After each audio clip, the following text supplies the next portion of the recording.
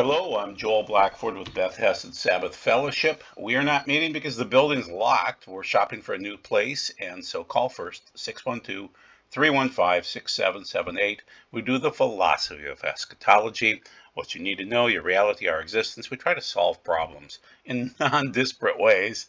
We're Beth Chesed Sabbath Fellowship. This one's a tough one. This one is going to go against the common thought, which is that we're going to come against the Antichrist. He's coming out of Europe and he's going to have 10 nations in Europe, and it, it's not working out so well. Okay. Um, and I'll give you different reasons, but I think it's 10 big tech horns. Okay. Uh, the horns are listed in Daniel and, and then Revelation. Um, I think it's the mind of the beast, and we'll show you that. You know what? You're smart people. I'm reasonably smart. I have good, smart friends, though, and we'll, we'll work it out together. Um, and so I owe a thank you to John Haller for help on this one and to Benjamin Baruch. So anyway, what is truth? Who determines truth? And is tech responsible for determining truth because tech is ungodly? so the main thing is as you deal with the disinformation dozen and other people like that that I happen to love dearly, um, be aware that um, that it's going to be interesting moving forward. And I think that's why big tech is more important than, say, the 10 European nations that everybody's been talking about all these years. And I'll give you the exact thing. Um, so, going back years ago, the big uh, book and movie series was the Left Behind series. And Gordon Currie is the actor that played Nicolae. Uh, and he was supposed to be the Antichrist. He's a nice guy. He's friends with Brad Pitt maybe Brad Pitt is the Antichrist. No, I'm kidding, just kidding. Um, and so the general consensus from Left Behind and other authors and other people is that the Antichrist was, uh, I'm saying that Glenn Currie was born 925 of 1965, so that makes him the Antichrist. No, doesn't. It doesn't. Uh, the EU was always the 10 heads of the Antichrist, and that this Antichrist guy was going to come along and unite them and things like that. I don't see it happening. Okay, I don't see that. I I see the opposite in the Bible. I see ethnos versus ethnos, which means ethnic group versus ethnic group and kingdom versus kingdom. I don't see them united. I see something else uniting. And so uh, the main thing is if you're looking at Jerry Jenkins and saying, well, he wrote The Chosen, so he must be the chosen. No, Jerry Jenkins is a confirmed gambler. He gambled aggressively with James MacDonald. Uh, they've been defrocked, basically. James MacDonald had to resign. Uh, it's all about the money. Jerry writes fiction so that he can get money to gamble. Okay, he's that addicted to gambling. And if you wonder about it, then go check out Julie Roys with her report. Um, Jerry writes his crud to feed his gambling addiction. It's that bad. And he admits it that he is a gambling he doesn't admit openly anymore that he's a gambling addict but that he's a fiction writer okay so um, he's been admitting that for years and also i went to a jan markell conference back in 2005 probably 2004 through 2006 and jerry got up in front of everybody and they asked him a question um, do you think anybody can be saved after the uh, rapture? And he said no. And he really could care less. He's a fiction writer. He, he doesn't know any better. And so when you're listening to him, remember, he's a gambler. Okay, that's his life and um, and and Tim LaHaye was a wonderful man. But just keep that in mind. So as you see these theories being trotted out, remember some of the men trotting them out are good men, but not Jerry Jenkins. So the Antichrist. It's always been thought that his ten kingdoms would be in Europe, and it's all Europe confederacy and things like that, but it's never worked out with the EU. Okay, it just hasn't.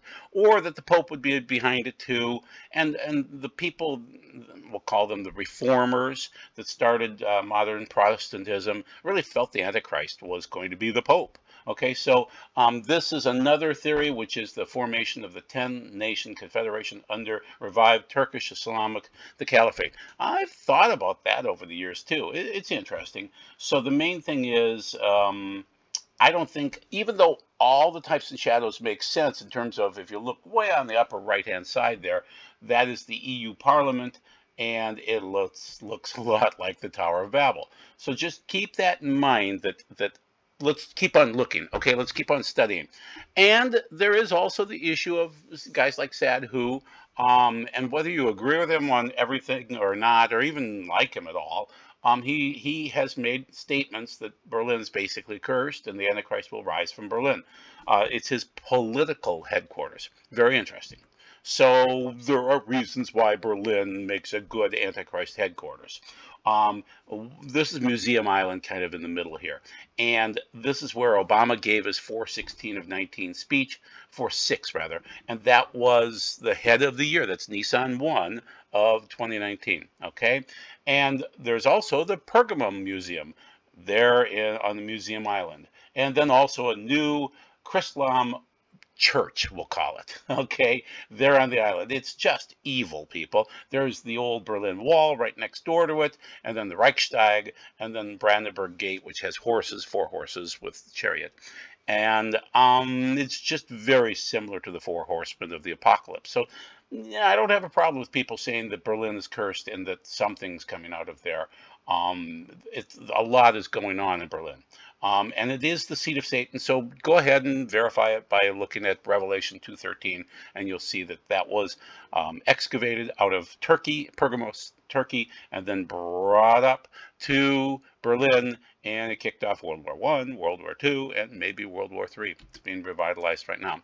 Uh, the other theory that I've been working on over the years has been 10 nations, but they're conglomerates of nations across the world it still doesn't work okay and yeah there's a new world order and everybody's talking about it but but i i don't think that's actually how it's going to work out and and, and you know you, you, the united states and russia are going to be the two biggest players no matter what. So let's look at something else. Once again as i mentioned martin luther many other of the reformers uh, immediately came out and said the antichrist is the pope. Okay fine.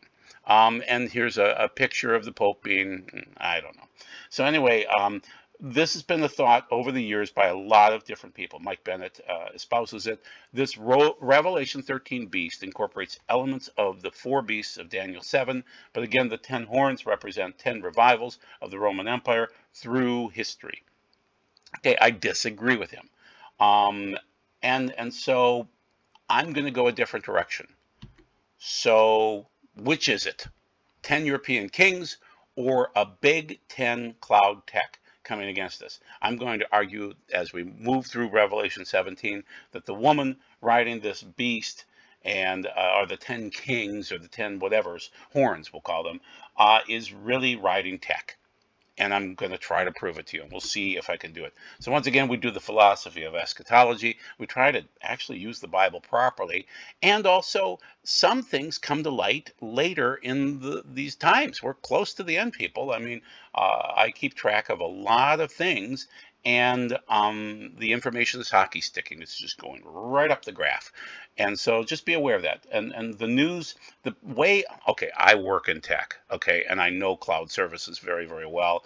And and so as I see the news coming through from that and match that with prophecy in the Bible, I'm seeing that it's Big Ten tech. Okay, so let's let's deal with first the word itself. So horns in Hebrew is keren, and horn, power, pride, instrument of music. Yes, it is also a shofar.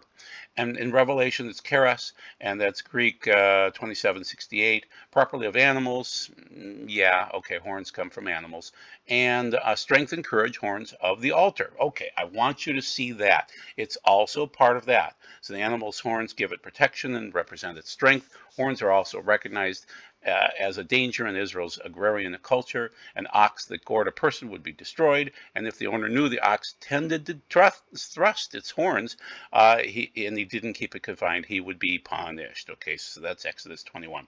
Um, and I'm paraphrasing, obviously. So keep in mind the horn is symbolic of Yeshua returning because the horn will be blasted in the Tekiah Gedolah. It's a big Tekiah call. So that's a long, unbroken call and gets louder. So the Lord is my rock, my shield and horn, power of my salvation. Um, so, and, and I want you to be able to be aware of this because this helps. And this is part of the reason why you come to my site, uh, my YouTube videos, is that when you see this, when you see horns, I want you to think of the altar which was part of the temple life daily, you know, two, three times a day in Jerusalem, first century. And also, if you were a Jew of that time frame, you would want your casket, so to speak, your ossuary, to have horns on it because it re resembled where your life came from in heaven under, and I'll show you the verses, don't worry, there they are at Revelation 6, 9 through 11, and where you're going back to. So um, in Judaism, we would believe that there's a Guf in heaven. And it really sounds like it when we read Revelation 6, 9 through 11, that that's where the souls come from. So when the Lamb broke the fifth seal, I saw underneath the altar of the Guf, the souls of those who had been put to death for proclaiming the word of God. That is, for bearing witness. They cried out in a loud voice, Sovereign ruler, HaKadosh, that's holy, uh, the true one, how long will it be before you judge the people living on the earth and avenge our blood? Each of them was given a white robe, and they were told to wait a little longer until the full number of their fellow servants should be reached, of their brothers who would be killed just as they had been. So, what I want you to be aware of is that the soul comes from this, it goes back to this, and that everything is everything that's important to the Jews, life, death, whatever else, is revolving around these horns of the altar. Whether the physical brazen altar or the incense altar, in this case, um, their altar where they're buried and they're waiting for their resurrection. So here's more pictures of the horns of the altar, and and so basically um, the symbology in death in these ossuaries. So keep that in mind. And here's another one. So think like a first century Jew. Horns belong on altars, and horns are not, well, they're connected to life and death. Okay, so now let's move forward here. So they're not connected to ethnos, which would be ethnic groups, or basileia, which would be kingdoms, in Daniel 7 or in Revelation 13, 1 through 4. So let's read the verses and see what I'm getting at. Ten horns.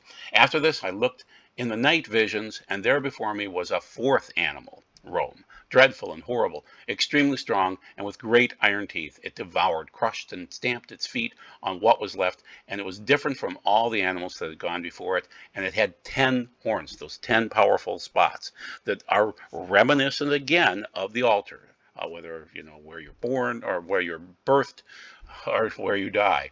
When I was considering the horns, and another horn sprang up among them, a little one, before which three of the first horns were plucked up by the roots. In this horn were eyes like human eyes and a mouth speaking arrogantly. That's the Antichrist. We would call him the beast. And as I watched, thrones were set in place, and the Ancient One took his seat to judge. And I would argue that's on Yom Kippur. That's when he judges. He always waits all the way through the festival of uh, Rosh Hashanah, all the way the 10 days to the end of uh, Yom Kippur, and then he judges at the end of that time frame. Let's move on to Revelation 13, which is I saw a beast come up from out of the sea with ten horns and seven heads.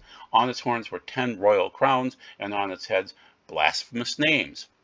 Tech companies, I'm arguing. The beast which I saw was like a leopard, but with feet like those of a bear and a mouth like the a mouth of a lion. To it the dragon gave its power, its throne, and great authority. One of the heads of the beast appeared to have received a fatal wound, but his fatal wound was healed, and the whole earth followed after the beast in amazement. They worshiped the dragon. That would be Satan, but it's also China. so, because he had given his authority to the beast, and they worshiped the beast, saying, "Who is like the beast? Who can fight against us?" So, let's go through these these creatures again. The leopard, that's Germany. Okay, the bear, that's Russia. The lion, that's England. So there are these symbols that match up then and now the horns are interesting, and I'm not going to argue that it's 10 nations that are 10 horns. I'm going to argue that it's going to be 10 tech companies, big tech, okay?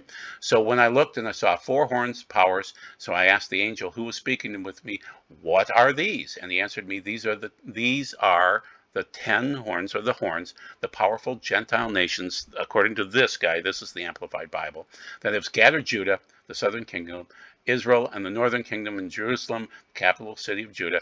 Then the Lord showed me four craftsmen. I asked, What are these horns and craftsmen coming to do? And he said, These are the horns, powers that have scattered Judah, so that no man raises his head because of the suffering inflicted by the Gentile nations. That's his opinion. But these craftsmen have come to terrify them and make them panic and throw down the horns of the nations who have lifted up their horns against the land of Judah in order to scatter it. So that's Zechariah 1. Very interesting, very prophetic. And then moving on to Daniel 8 3, you who self confidently rejoice in Lo-debar, in nothing, uh, words that say nothing, though who say, Have we not by our own strength taken Karnaim, strength for ourselves. Okay, so that's Amos 6.13. Interesting, okay? So I just want you to see these verses, and, and we'll see another horn verse in just a little bit here. And I said to the arrogant, do not boast, and to the wicked, do not lift up the horn of self-glorification. Uh, that's his uh, opinion. Do not lift up your defiant and aggressive horn on high. Do not speak with a stiff neck. That's Psalm 75. And uh, once again, it was Amos 6.13 that I just read a moment ago. The last one is Daniel 8.3. Then I raised my eyes and looked, and behold, there in front of me was a canal. On the canal stood a lone ram. Um, that's the Medo-Persian Empire, which had two horns. The two horns were high, but one, Persia, was higher than the other, Media, and the other one came up last. I'm arguing that that is a picture of the Medo-Persian Empire, but also a picture of um, uh, the Roman Catholic Church uh, and the Eastern Orthodox Church that have split. And so one is bigger, the Roman Catholic Church is bigger. And so that would be a picture of what the Pope is going to be doing at the end. And then um, basically the Antichrist is going to come along and smash the system in Daniel 8 and take over at that point in time. So, but the male goat magnified himself exceedingly, and when he was young and strong, the great horn, that's Alexander, but also the Antichrist, suddenly broken, and in its place there came up four prominent horns, that did happen with Greece, among whom the kingdom was divided one toward each one of the four winds of heaven. Out of one of them, Antiochus the fourth, Epiphanes, came forth a rather small horn, but one of the irreverent presumption and profane pride. Yeah, oh, there you go. That's the Antichrist, which grew exceedingly powerful toward the south, toward the east, toward the beautiful land. That's Israel. And in my vision, this horn grew up to the host of heaven and caused some of the host and some of the stars to fall to the earth and it trampled on them. Okay, that's Daniel 8, 8 through 10. Interesting. So that's the horn. And then we have one more, and we're going to go through this a few times. I saw that the woman was drunk with the blood of the saints, that's God's people, with the blood of the witnesses of Jesus who were martyred. When I saw her, I wondered in amazement. But the angel uh, said to me, Why do you wonder? I will explain to you the mystery of the woman and the beast that carries her, which has seven heads and ten horns. So, those are the verses that help you. And here's what started me down this road. I started looking at the Google stuff because I Google a lot and I do DuckDuckGo also. Um, but Google's has changed its logo and it looks a lot like a logo that I've seen from Rebecca Sterling. And you can see that logo in the middle, but that's Google on, on the left and Google on the right it looks like a 666 people, okay? And so, once again, I want to show you that Mike Bennett is saying the beast incorporates the elements of the four beasts of Daniel 7, but again, the 10 horns represents the 10 revivals of the Roman Empire through history. I'm arguing no, no. It, it is more like tech, and Google is more like 666, and their logo is a clue to that. Okay, so once again, I can you can blame John Haller for this information um, or Benjamin Baruch. Um, and so this is an open letter to the Biden-Harris administration from John Haller during his prophecy update the other day here. And our broken information ecosystem with unaccountable tech giants serving as gatekeepers poisons the public discord course and corrodes our capacity for progress. Indeed, President Obama recently identified the lack of a common baseline uh, of fact as the single biggest threat to our democracy. And this crisis of truth is not merely a long-term problem, it is one with immediate implications for your administration's top priorities and governing agenda. Okay, so what they're trying to do is make the tech giants more accountable and be stronger gatekeepers to prevent the poisoning of the public discourse. Okay, interesting. So I'm arguing tech giants. Let's go to the other side of the page, which is, you know, who's more frightening, the tech giants or India? Oh, India has 140 nukes and Russia has 6,500. You know, who's more frightening? Can you come up with 10 nations or even 10 regions that work for this? No, you really can't. I mean, you really can only go Russia, US. And the other 10, I mean, China's important, obviously. We don't know how many nukes they really have. But the United Kingdom, Pakistan, India, Israel, North Korea, is, is that the Big Ten? Not a, not a chance, okay? So keep that in mind as I keep on hammering away on big tech. So once again, I looked at this uh, uh, Rebecca Sterling video, video number five, the stadium, and and um, man, oh man, oh man, I just started looking at that 666 that she had all over on the page there, and I thought, oh, that looks like the Google symbol. So it's just interesting. I wanted to cite that one more time. I can't say that I always agree with her because she has a certain disease that causes her to forget certain things. So she wrote all of these things down in 1999, but her opinions today are rather interesting, but not necessarily accurate. But some of what she saw back then is highly accurate.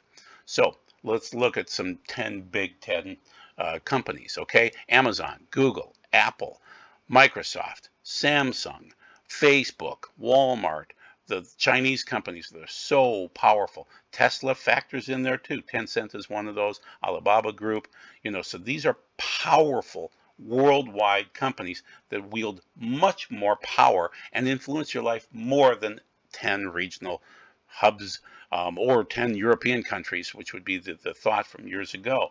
So I argue this is the issue with the 10 horns, the 10 power centers. Okay, so now let's continue on. And, and so I want you to see the breakdown in the Greek a little bit and, and understand the words a little bit more. So once again, um, Benjamin Baruch said, that's the mind of the beast. So when you're reading this with me, think of this is the mind of the beast. So um, destruction goes and the 10 horns which you saw, 10 kings are who a kingdom not yet received, but authority as kings one hour to receive, along with the beast, these one mind. That's the big thing, okay? Uh, nome, okay? And so, uh, or nomo.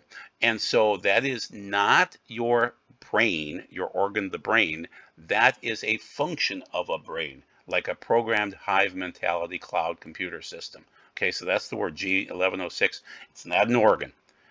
it's it's not a person's brain. It's the function of a brain okay? And I'm arguing that the kingdoms are listed there, but they have not yet received authority as kings. These tech kings are kings, people, okay? And, and look at this too. One hour they received the authority. You couldn't do that with countries. You couldn't get them to get together. You just couldn't. You couldn't take 10 European nations or 10 worldwide conglomerates and get them together. Big tech could divvy up everything in a matter of minutes. In one hour, they could do it. Okay, so then, so there's the the nomen and, and nome or nomo, um, and so that is very, very interesting. That word, uh, it's it's discernment which determines its function. Okay, I sell programming for a living, and I sell cloud services. That's programming, people. That's what it is. Okay, so it makes sense and and you know I love Spiros Zodhiates and so I want to cite what he's talking about, and this is from his Bible, the Keyword Study Bible. So, you know, I'm generally meaning capacity of judgment, faculty of discernment. That's what computers do, people. Okay, they make determinations. As far as conduct is determined, uh, let's see here, continuing on. These two, although connected, must be distinguished. The distinction cannot be that one of the organ being nous, mind, or nome, its function. Nome is discernment, which determines conduct, as I stated. Nous, mind, refers only to thinking without direction. It signifies consciousness, mind, opinion, thought. Nome can be synonymous with will, um, and so Revelation 17:13, which is critical for what we're reading, okay?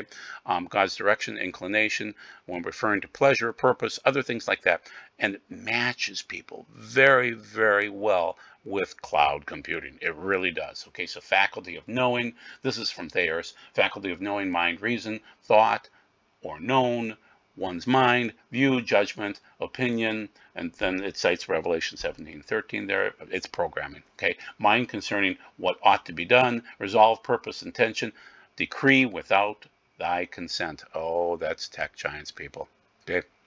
That is. So I'm arguing that the woman, this harlot, is riding the 10 horns of tech, okay? And so let's read Revelation 17, 16 through 18 and see if it works. And the ten horns which you saw, and the beast, these will hate the prostitute, this woman, and will make her desolate and naked. and that's basically the Catholic Church, okay? Stripped of her power and influence, and will eat her flesh and completely consume her with fire, for God has put in their hearts to carry out his purpose by agreeing together. Yeah, that's not a great translation anywhere, um, but that's Nome, um, and that's I argue that's Big Ten Tech because they agree together to surrender their kingdom to the beast at some point in time until the prophetic words of God will be fulfilled. The woman whom you saw is the great city, which reigns over and dominates and controls the kings and political leaders of the earth. Revelation 17, 16 through 18. It works, people. It works very, very well. So who's controlling your free speech right now? Is it India?